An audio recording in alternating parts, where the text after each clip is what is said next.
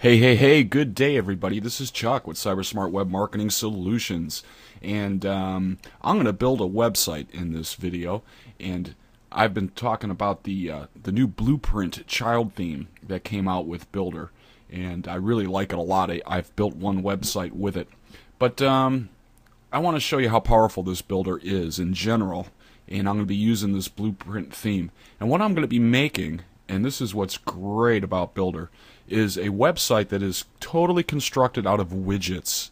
Um, and, and this really takes things out of the box and over the edge. So, what you have to do, first of all, is you have to have Builder installed as your base because you don't ever want to edit that. Okay? and then and then you upload a child theme and I have blueprint here and I've already went ahead and configured my my widget areas and I am going to build. This is a uh, Chicago Handyman Services website that uh, I've managed to get on page one of Google listings, and I'm going to want to sell it. So I'm going to snazz it all up and uh, go step by step. We'll go into the layout engine here real quick and show you how I set up these these widget areas. And we're going to be using the widget content uh, feature as well in this. Where's layouts? Here they are. Okay, this is my 1000 home. I've made it uh, custom 1000 pixels wide because it's easy to uh, break things up. And here I've added my widgets, widget areas, and we'll just go in. I'm going to modify this one real quick just to show you how this works. The number of widget areas that you want for this one, I've selected one, and uh, you can also break up um, the percentages. Uh, for example, my top widget, I have uh, the one on the left is 70% and the one on the right is 30%. And in the uh, blueprint theme, you get uh, several different choices as far as as uh, colors.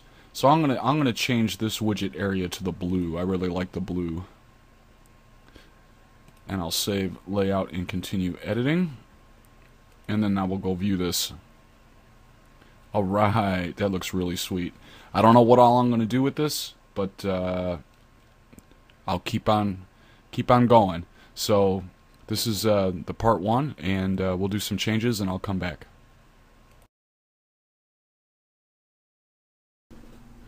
Okay, one of the first things that I would like to do here is add a rotating images, and I have this is also made by uh, um, iThemes. It's Display Buddy. There is multiple plugins, but in this one, what I did is um, install the rotating images. And I grabbed a couple images over at iStock. And what you you can make many different groups, um, and uh, there's even a short code if you want to put it into uh, a page directly rather than into a widget area. But for this one, I just did it into the top left widget area. So this is the rotating images, and it's pretty simple to configure. You can set how large you want it. I have this set for 750 by 250. And um, what else does it have here? It's got fade options, how long you want it uh, to, to fade, it's got a double fade. I like that because it, it, ends some of the uh, some of the pop. It also has enable a text overlay. Um, if you wanted to put the phone number or have it say, have it say something, um, I got that turned off for right now. But uh, that's one of the first things that I wanted to do with this website is add a rotating images, and I also put a Google ad over there too because I actually make pretty good money off of this off of this website since it is showing up in the top of the search engines, and until I sell it, I'll want at least one Google ad on there.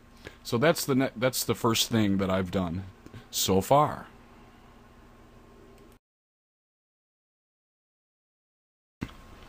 Okay, moving right along. I've done a few other things here.